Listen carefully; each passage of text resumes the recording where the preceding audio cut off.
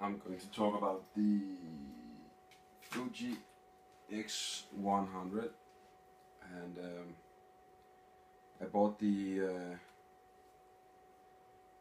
actually when I bought this about a month ago I bought this camera without straps. Actually uh, the straps were included the uh, black limited edition Fuji leather straps but uh, there were no little uh, key rings. I don't know what they're called in uh, in English, but uh, I could of course go out in my big jar of uh, unidentified keys and grab two of these rings and put them in and, and mount the Fuji uh, generic strap. But I thought, eh, this might be the perfect opportunity to get myself a new strap for this camera and uh, I went googling Danish sites for a strap and uh, this is what came up. This is called the Gordy strap.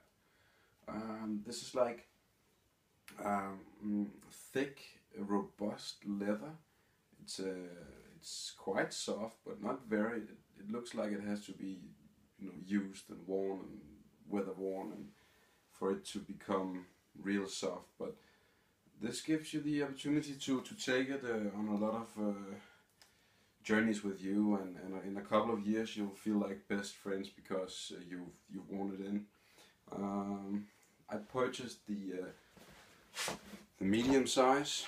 Uh, I haven't even uh, regulated it here in the side where you can do that because it actually just fits. Um, and I'm really happy about the uh, the look of the strap because what I saw on the uh, on the web shop where I was uh, buying it from is that this was uh, like a bright bright uh, brown with a, a, little bit darker brown like this uh, on top.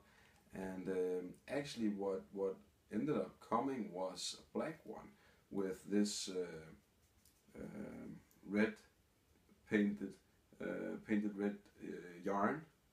Um, and it actually looks real good uh, in comparison to the or in complement to the, the, the leather case which is also black and has the exact same red color or not exact same but but very similar so it actually gives uh, it, it completeness for uh, a good walk around good looking, feeling good camera.